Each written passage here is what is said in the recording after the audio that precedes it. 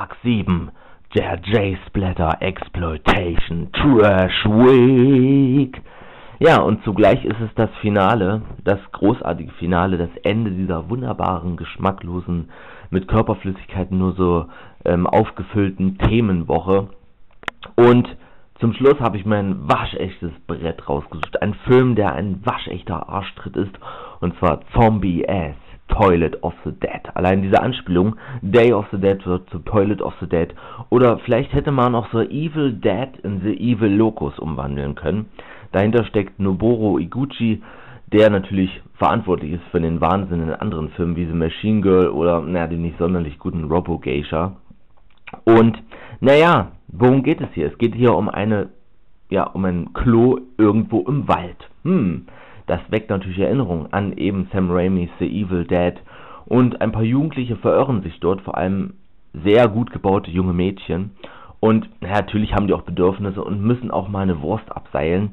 Das Problem ist nur, dass eben in diesem Klo ähm, ja irgendwelche Parasiten hausen, die in die Körper reinschlüpfen, einem wachsen dann Tentakel aus dem Allerwertesten und sie sich der Körper bemächtigen. Man hat dann extreme Probleme, man hat Flatulenzen ohne Ende und durch diese fast schon mega giftigen Rauchschwaden erwachen dann auch noch Zombies, die sich rund um das Gebiet dieser Latrine befinden und somit haben unsere jungen Frauen und die paar debilen Dödel, die dabei sind, extreme Probleme.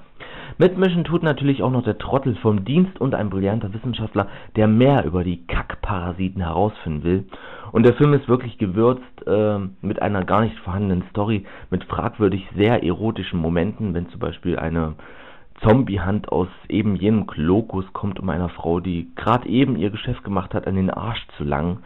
Und wow, da fasst man sich regelrecht an den Kopf. Und der Film dem schafft, der schafft es immer wieder, gewisse Dinge einfach zu toppen.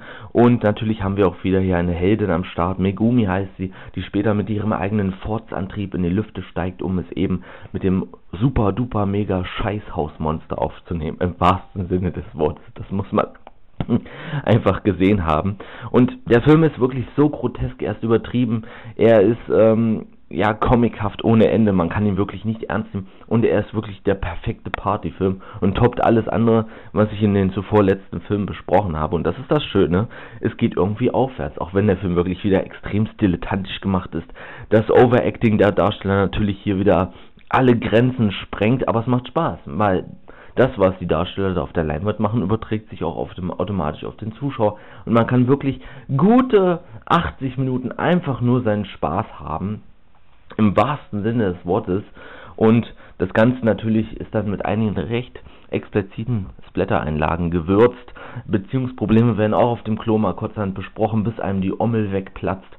Und ja, Zombie Ass ist der absolute Arschtritt im wahrsten Sinne des Wortes und bekommt daher auf dem Blödsinns-Punktebarometer gute 9 von 10 Punkten. Eine waschechte Nicht-Empfehlung für euch alle da draußen, vor allem wenn ihr Fäkalienfilme sehr mögt. Ja, und das war's jetzt auch, das großartige Finale. Ähm, und ja, was soll ich sagen? Ich bin wirklich sehr zufrieden, wie diese Themenwoche gelaufen ist und es wird sicherlich nicht die letzte sein. Es war eine Art Experiment, wie das Ganze bei euch ankommt. Natürlich würden einige, dass ich das fortsetze, aber sieben Tage reichen absolut und man kann das irgendwann nochmal wiederholen, aber äh, irgendwann hat man auch die Nase voll und will sich ja doch mal wieder geradliniger, normaler Filmkost widmen.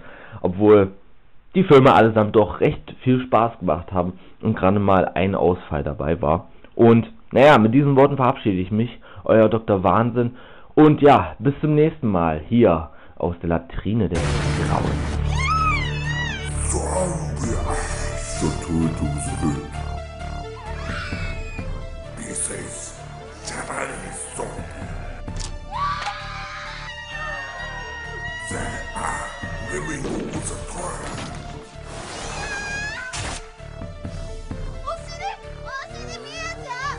baby. Say, ah, danger. Danger.